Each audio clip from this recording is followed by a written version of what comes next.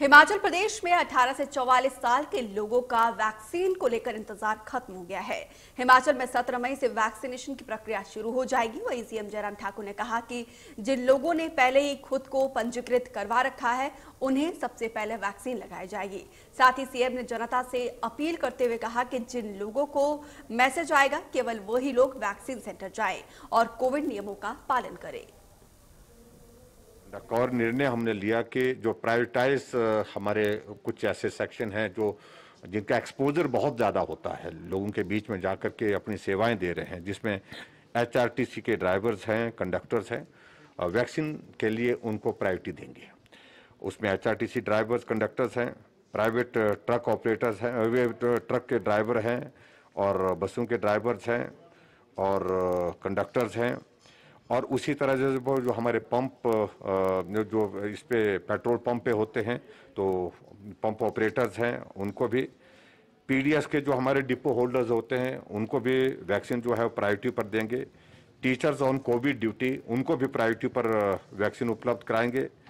Bank में, bank वालों के, हमको काफ़ी लोगों से हमसे इस बात के लिए आग्रह आ रहा था कि भाई बैंक के लोग सीधे जो है वो पब्लिक कांटेक्ट में रहते हैं, इस सूरत में। वहाँ पर उनको भी ये सुविधा उपलब्ध होनी चाहिए। बैंक के जो हमारे कर्मचारी हैं उनको भी इसमें शा, शामिल किया गया है। और उसके बाद हमारा जो फ़ूड एंड सिविल सप्लाईज और स्टाफ ऑफ़ ट्रांसपोर्ट ये इनको भी हमने प्राइटाइज किया है। और उसके साथ में केमिस्ट लोक मित्र केंद्र। ये इनको वैक्सीनेशन के लिए इनको प्रायोरिटाइज किया है ताकि ये जो वैक्सीन का अभियान हमारा ठीक प्रकार से जो चल रहा है उसमें इनको प्राथमिकता दे करके इनको वैक्सीन के माध्यम से इस कोविड के संकट से इनको बचाने में हम प्रयत्न कर रहे हैं। एक और इंपॉर्टेंट चीज़ हमने हिमाचल प्रदेश में तय की है कि कि जो जितने भी हमारे हिम केयर के और आयुष्मान भारत के अंतर्गत जो लोग कवर्ड कवर्ड है आ, उनका जो है प्राइवेट हॉस्पिटल में भी उनके ट्रीटमेंट की व्यवस्था जो है उस तरह से फ्री ऑफ़ कॉस्ट उसमें होगी। और वो एक नई शुरुआत है नई एक पहल हमने इस प्रकार से की है ताकि उन लोगों को मदद इस प्रकार से हो सके। जहाँ तक कर्फ्यू के बारे में आपने जो बात कही है कर्फ्यू अभी तक हिमाचल प्रदेश में जो लागू हुआ है उसका इम्पैक्ट एक अच्छा इम्पैक्ट आया है।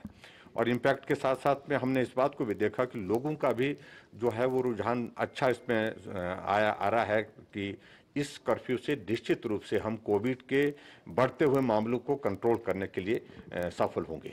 एक महत्वपूर्ण जानकारी मैं आप सबके माध्यम से साझा करना चाहूँगा, ये है कि जो हमारी वैक्सीन जो अठारह से पैंतालीस साल के लिए उसमें वो वैक्सीन हमको आज जो है एक लाख सात हज़ार वैक्सीन उसमें हमको उपलब्ध हो गई है। और उसका रजिस्ट्रेशन का प्रोसेस मैंने आपको बताया था कि उसका शुरू हो चुका था कुछ दिन से पहले से। और सत्रह तारीख से, सत्रह तारीख से हम इस वैक्सीन की शुरुआत कर रहे हैं। और 15 तारीख तक हम इसकी सारी मॉडलिटीज तय कर रहे हैं कि किस तरह से फेस्ड मैनर में जिस प्रकार से इसको प्लान करेंगे, हम उसका पूरा शेड्यूल जारी करेंगे, ताकि किसी को असुविधा ना हो। लेकिन इसमें फ़र्स्ट कम फ़र्स्ट सर्व ये हमने सुनिश्चित किया है, जिन लोगों के रजिस्ट्रेशन पहले हुआ है उनको जो है वो वैक्सीन दी जाएगी, और उसका एक मैकेनिज्म डेवलप करने के लिए हम कोशिश की है कि उसमें जिन लोगों को वैक्सीन के लिए मैसेज आएगा, वो आएगा। अदरवाइज़ उसको एक साथ क्राउड की शेप में उसको मैनेज करने के लिए कठिनाई आएगी उस सूरत में। इस प्रकार से रहेगा कि जिनका रजिस्ट्रेशन हुआ है फ़र्स्ट कम फ़र्स्ट सर्व मैंने पहले कह दिया और उसके बाद वहाँ जिसको मैसेज आएगा, वो जो है वो जो हमारा सेंटर होगा वैक्सीन सेंटर होगा, वहाँ पर आकर के